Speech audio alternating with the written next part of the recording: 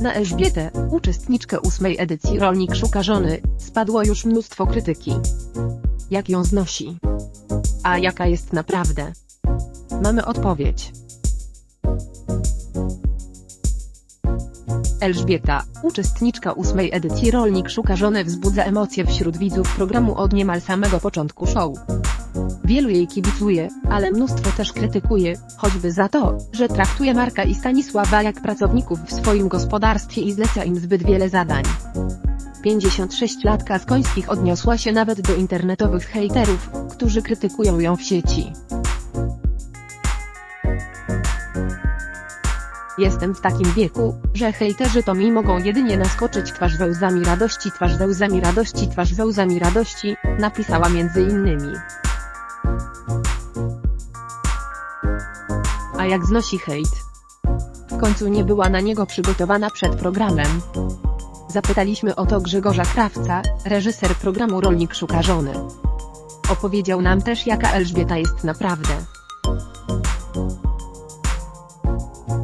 Jaka jest Elżbieta z Rolnik Szuka Żony? Elżbieta, uczestniczka ósmej edycji Rolnik Szuka Żony, wzbudza wiele emocji. Również po ostatnim odcinku na oficjalnym profilu programu na Facebooku pokazują się krytykujące ją komentarze. Widzowie piszą. Nie nadaje się do związku. Małpka Elżbieta, zmień podejście do mężczyzn, szanuj ludzi. A jak sama znosi krytykę? Jak mówi nam reżyser, uczestnicy to ludzie, którzy na co dzień nie są związani z show biznesem i nie mieli jak przygotować się na takie sytuacje.